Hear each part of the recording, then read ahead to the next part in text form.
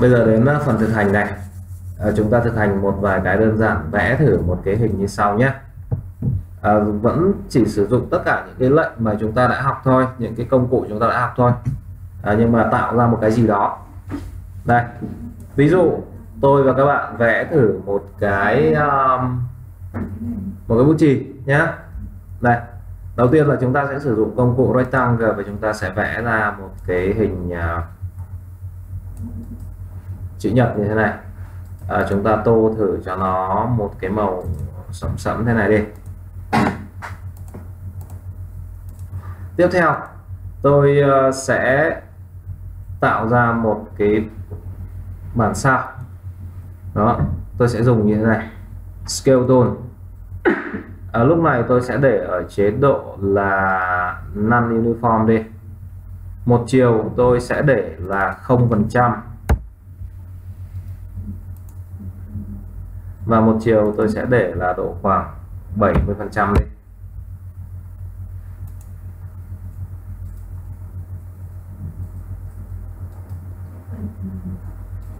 À xin lỗi.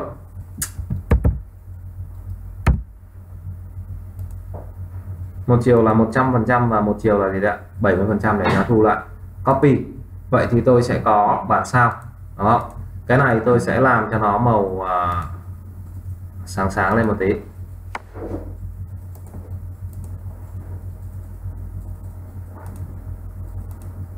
Ví dụ này. Nếu mà chưa cảm thấy mà chưa hài lòng các bạn có thể chọn và các bạn giữ an các bạn thu thêm một tí nữa. Nếu như muốn. Đó. Đây là thao tác với công cụ chữ nhật nhé. Và cộng thêm một tí tẹo là cái uh, cái cái cái ờ, gì nhỉ? Cái uh, scale bây giờ chuyển tiếp công cụ này. Chuyển sang polygon này. Tôi vẽ ra đây đã. À đây là hình tam giác rồi. Thế là được rồi. Đúng không? Bây giờ tôi uh, vẽ ra. Và tôi có một hình. Ok. Đây là hình tam giác. Trước hết là tôi lật nó đã nhá. Thì uh, tôi sử dụng công cụ reflect này. Đó tôi nhấp đúp này và bây giờ tôi chọn là horizontal để cho nó úp đầu xuống. Ok. Tiếp theo thì tôi sẽ xử lý thêm một chút. Cái hình này của tôi đang là đây chúng ta tìm thêm một cái khái niệm như thế này nữa này. Là chúng ta mở bảng transform ra. Chúng ta có thể xem là độ rộng của cái hình chữ nhật này là bao nhiêu. Đây là 53, bao nhiêu đây? Tôi copy lấy giá trị này nhé và tôi ờ, uh, dán vào cho cái hình tam giác này. Dán vào đây enter. Thì nó sẽ có cái chiều ngang bằng luôn cái hình. Hình chữ nhật kia. Chúng ta kéo chúng ta đặt vào đây. Vậy là tôi có một hình rồi. Tô cho nó màu uh, nâu nâu vàng vàng này đi. Được chưa? Đến đây tôi lại làm tiếp thêm một thao tác nữa. Là tôi um, transform nó như thế này. Bây giờ tôi lấy uniform đi và tôi cho nó còn độ khoảng 30 phần trăm đi. Copy. Vậy tôi sẽ có một hình bé này. Bây giờ tôi tô cho nó màu đen. Kéo nó xuống đây. Tới đây tôi có được cái đầu bút. Đó. Vẽ tiếp. Hình khác vẽ hình chữ nhật đi.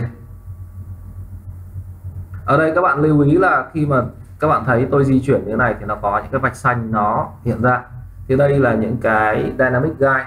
Nó giúp cho chúng ta biết được là cái đối tượng này uh, so với lại cái trò chuột của tôi nó đang có tương quan như thế nào. Ví dụ đặt đây là đang nằm ở giữa này đặt đây là nằm bám đúng cạnh này đúng không? Đấy như thế này.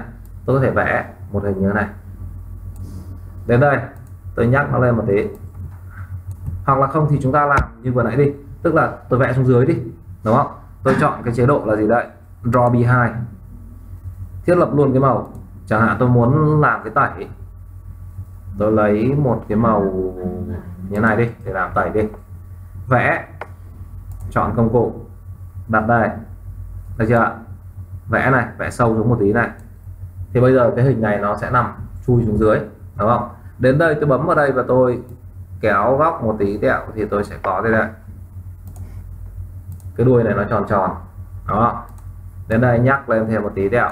Chúng ta sẽ tạo ra thêm một vài cái đối tượng nữa để chúng ta làm thử cái à, cái cái cái um, phần uh, bọc đuôi của cái tay đúng không?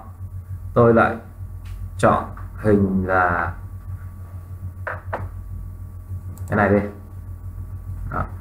vẽ lấy một thiết lập trước một cái màu khác. Ví dụ cái xám xám này như là cái à, hình à,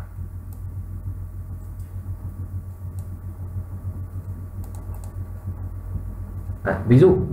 Thế đến đây thì chúng ta có được một cái hình tương đối đơn giản trông giống giống như là cái à, bút chì đúng không? Vẫn chỉ sử dụng những cái hình rất là cơ bản thôi. Bây giờ làm thêm một vài cái nữa. Group lại đã nhá thu nhỏ nó lại bằng cách là giữ shift thu nó lại. Bây giờ chúng ta trang trí thêm một vài cái nữa. Chẳng hạn như là vẽ một hình uh, chữ nhật đi giữ shift này.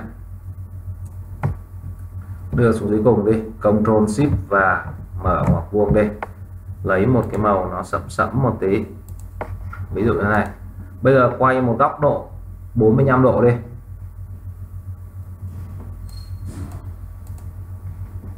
Nhập đúp. Gõ 45 độ.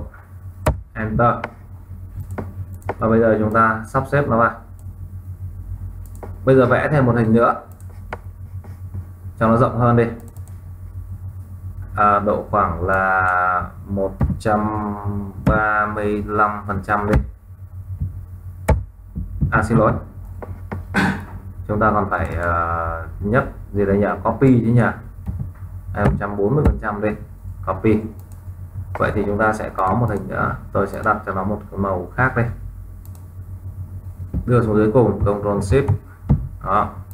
Và bây giờ chúng ta sẽ chọn thêm một vài cái hình ví dụ như quay trở lại làm việc với lại cái tống này đi. Ví dụ vẽ một cái spira này.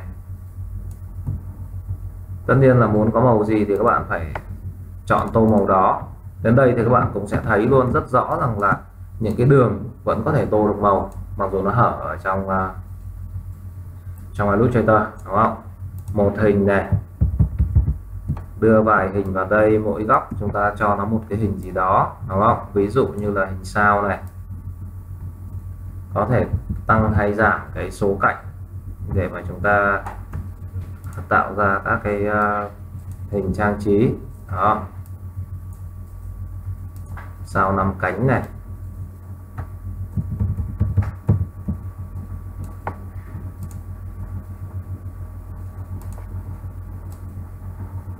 hình tròn này. Giữ ship hình tròn. Ví dụ thế. Thì đây là một cái bài rất là đơn giản thôi. Chúng ta chúng ta sử dụng những cái um, những cái hình hình học rất là cơ bản. Hay là đây, thêm một tí tẹo. Ví dụ như line này chẳng hạn. Đúng không? Line này thì tôi có thể chuyển sang đây để tôi vẽ theo cái đường này. Đó. ví dụ thêm vài cái đường mang tính trang trí vào đây.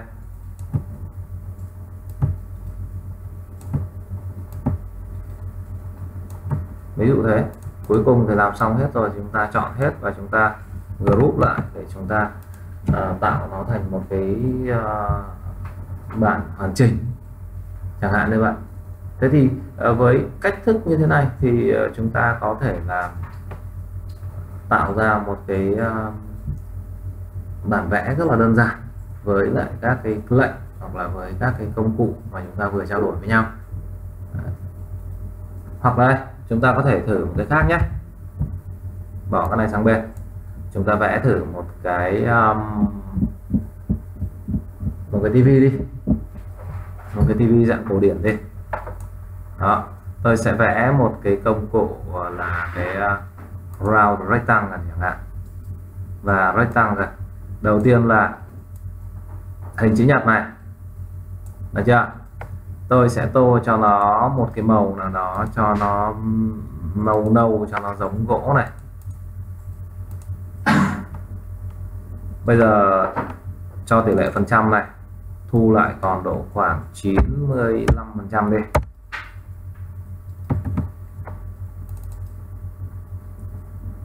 Chín mươi lăm phần trăm copy vậy thì tôi sẽ các bạn sao? Cái này tôi sẽ cho màu uh, sáng hơn một tí.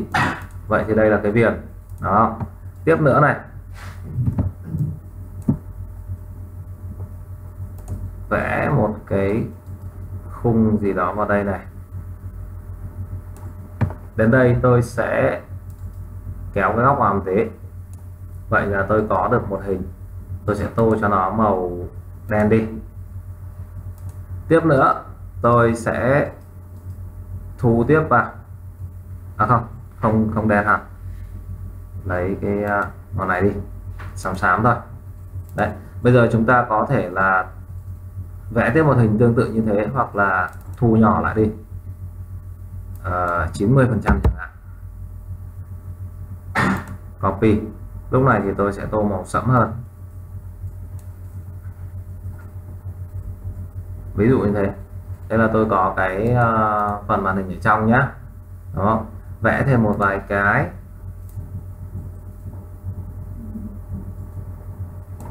Chẳng hạn đây là cái phần uh, để loa đi.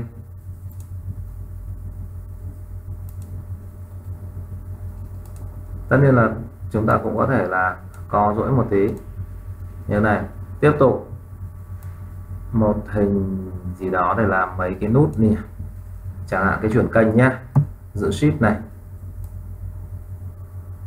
Ở đây nếu như các bạn mà đang vẽ mà các bạn lại muốn uh, dịch chuyển nó thì các bạn có thể nhấn phím cách nhé. Đây. Nó chưa đúng chỗ thì các bạn có thể nhấn phím cách trong lúc các bạn là vẽ để dịch nó sang vị trí mới. Đến đây tôi cho nó một màu tương đối sáng này. À, Ctrl C này. Ctrl C là copy nhé. Ctrl F là dán lên phía trên nhé. Và giữ Shift giữ An thu đều vào trong. Tôi sẽ có một cái hình đồng dạng như thế này. Đấy. vẽ thêm một hình chữ nhật nữa để làm cái vặn.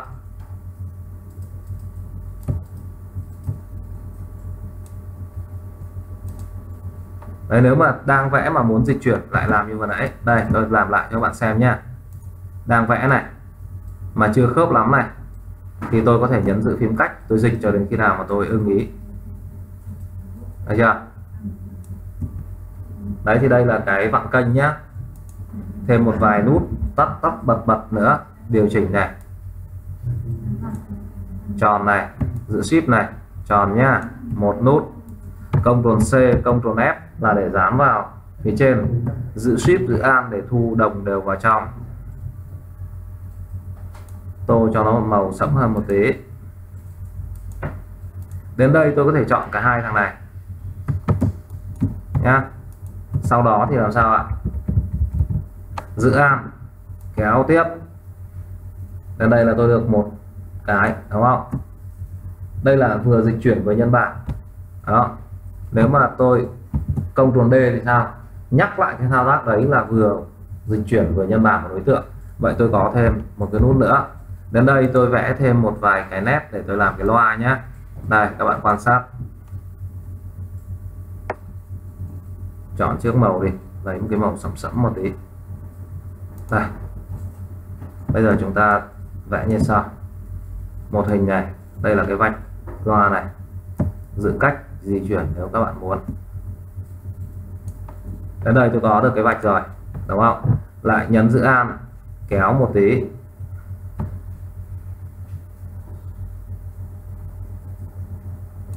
Rồi bây giờ Ctrl D tiếp. Nó sẽ nhân tiếp cho các bạn xuống thành các cái vạch của cái loa. Đó đến đây. Nhìn cũng hòm hòm rồi. Vẽ thêm một tí nữa. Phía sau này. Chọn màu sẫm sẫm một tí để làm cái chân này. Cái bệ này. Đó cái chân. Rồi có. Bây giờ gắn thêm cho nó một cái uh, anten nữa đúng không? Nhưng đây, anten nhá. Thì chúng ta sẽ vẽ một cái thật mảnh thế này. Đây nha vẽ dấu ra sau nhá. Chọn màu sáng một tí nhá. Được chưa? Đến đây, tôi cần có hai cái anten. Thì trước hết là tôi quay nó đã. Để quay thì chúng ta làm thế nào nhỉ? Phải chuyển được cái tâm quay dưới đúng không? Đây nha bấm này. Nhấn an này. Chuyển xuống gốc này đúng không? Bây giờ quay một góc bao nhiêu thì tùy. Đúng không? Copy này. Được chưa? Thằng này cũng là làm lại này. Chọn lại đối tượng này. Nhấn nam này. Đó. Kích vào đây. Và bây giờ lại trừ đi gì đây? Trừ 45 ok. Nó xoay sang phía bên kia. Đến đây thì chúng ta có được một cái hình tương đối là cơ bản đều dùng những cái, cái hình mà chúng ta vừa học thôi đúng không? Với lại một số lệnh quay lật rồi nhân bản rồi vân vân. Đấy thì cái hình này nó cũng rất là đơn giản thôi rất dễ thôi đó thế các bạn thử nghiệm thử một chút. Đấy hôm nay chúng ta chỉ trao đổi từng đấy thứ thôi không náo loạn đến buổi sau chúng ta sẽ thêm một vài cái về giống hàng và các thao tác cắt hàng, Nếu lúc chúng ta sẽ nói các thứ nó phức tạp hơn.